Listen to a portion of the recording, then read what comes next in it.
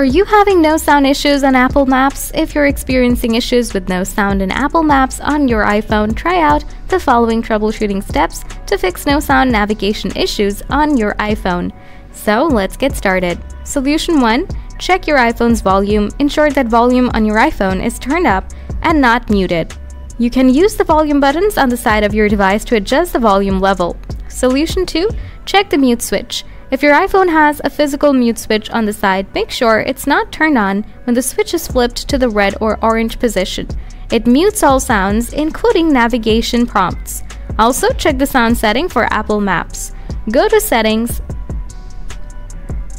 scroll down and tap on Sound and Haptics. Ensure that the Change with Buttons option is enabled. Solution 3 Enable sounds for the map. Open Setting, scroll down, tap Notification, scroll down, find out Traffic Notification, enable sounds and other important notification settings. Solution 4 Give Reset All setting. Go to Settings, scroll down, tap General, scroll down, tap Transfer or Reset. Tap Reset All settings. Note that this will reset all your personalized settings to default values, so you must set them up again. After doing all the processes, your problem will be solved. Please let me know if you still have any issues in the comment section. Thanks for watching.